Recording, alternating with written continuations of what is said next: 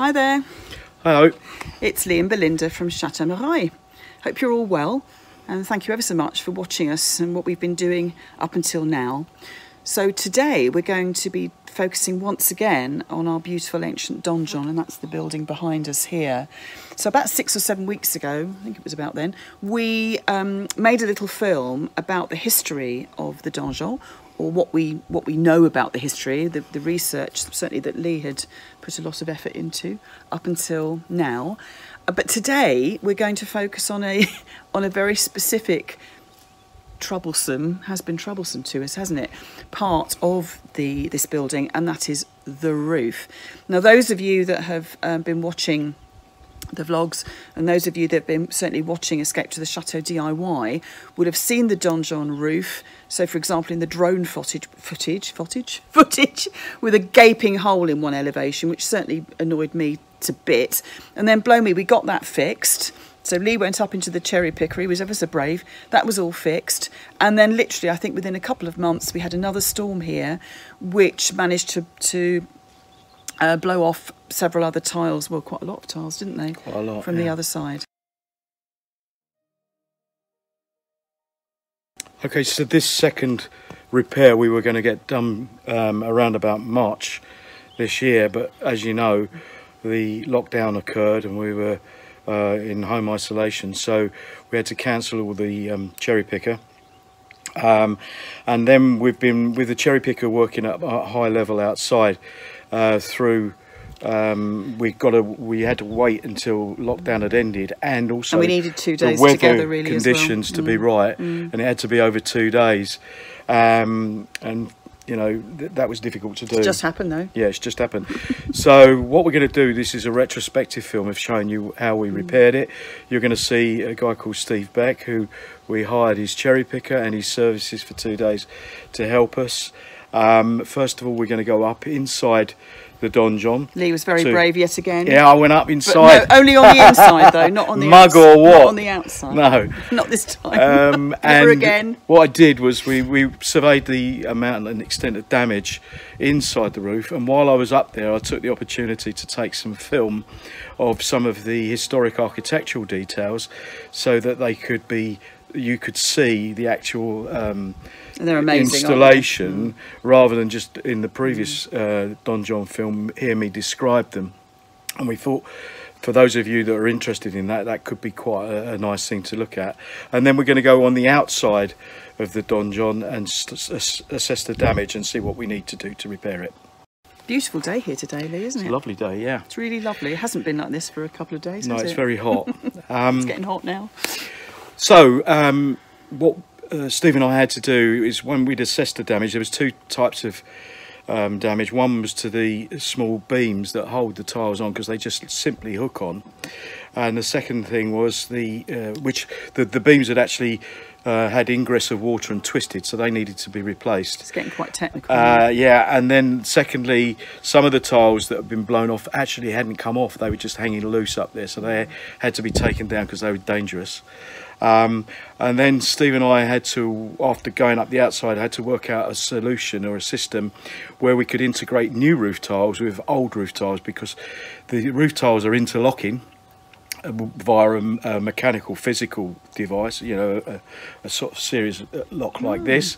Um, but the new tiles are slightly different size. They don't have the same interlocking facilities as the old ones. So after some sort of head scratching, we come to the solution that what we would do was drill holes in each tile, renew the timber members, and then physically screw the tiles to the battens and actually put a safety wire through each tile as well so that if they did work loose at some point in the future and that's why it took two days. it took two days to do it yeah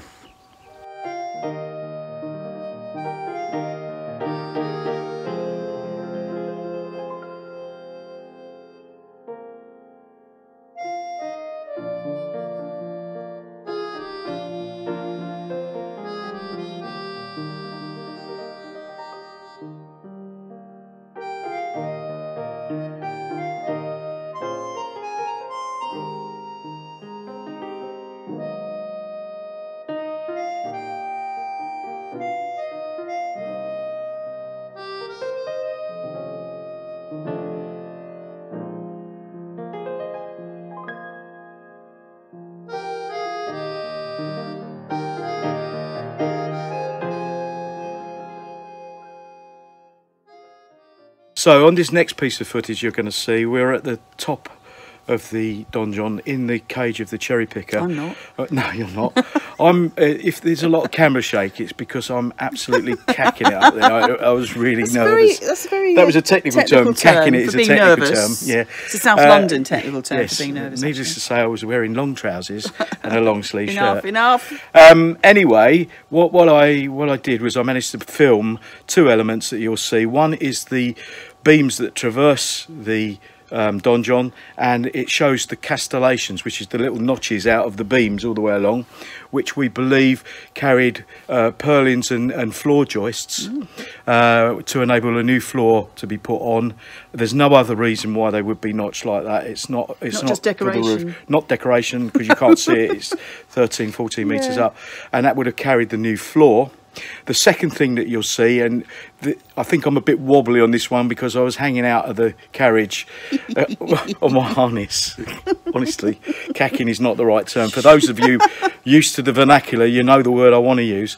Um, and what I've done is filmed some of the knights' windows, the windows that they used to sit in and use as lookouts that have since been filled in. And also, I managed to film the filled in doorway and the portal at ground floor level with the date it was filled in, which I think is 1821, 1822, something like that. It's not that clear from the cement works. But I hope you um, get. Get the gist when you see the film, and apologies for any screaming that you may hear.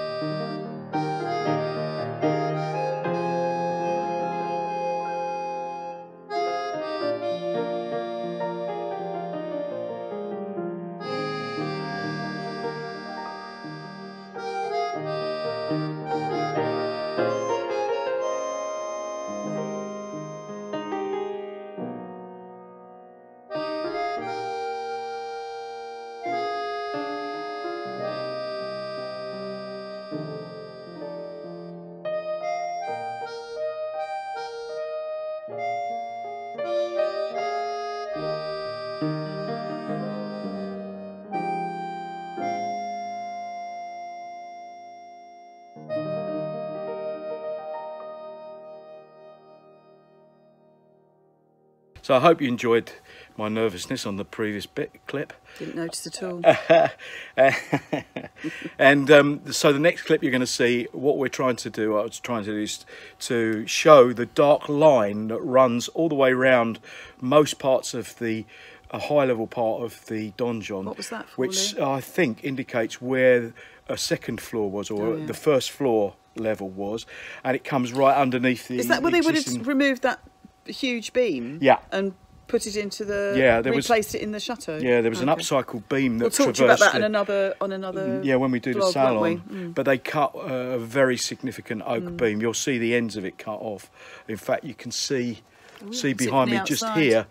That's the Yeah, beam there. yeah. Um, and it's cut off inside. It's Mm. quite substantial and it's oak. Um, but the dark line shows where the floor would have been, and it comes level with the existing high level fireplace. You'll see on the high level fireplace there is the crest for the fleur-de-lis. Jean de Mareuil. Um, He's got four fleur de lis. Yeah, up at- in quadrants. Up until the French Revolution, uh, I believe you weren't allowed in France to use the symbol of the fleur de lis, uh, unless you had direct lineage to the Dauphin, the king, or that you'd pledged allegiance to them, and, and your, you know, all your armies or whatever would, in, a, in the event of a disaster, be behind the king. Um, well, this guy didn't use one fleur de lis. He used four, uh, and really over the top because he considered himself extremely important. He was a VIP of yesteryear. He's the yesteryear's VIP, or in common Celeb. parlance, the Celeb. big, Billy Big whatever yeah. of today's the day. The local big cheese of The Mariah. big cheese, the grand fromage.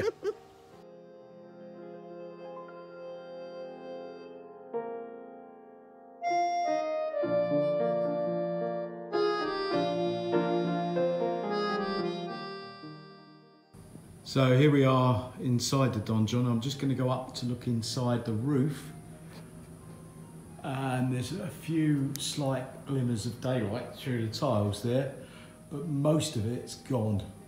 And by the time we put that last ridge tile on and the small tile that's gaping light through, we can fill the others and um, that'll be waterproof.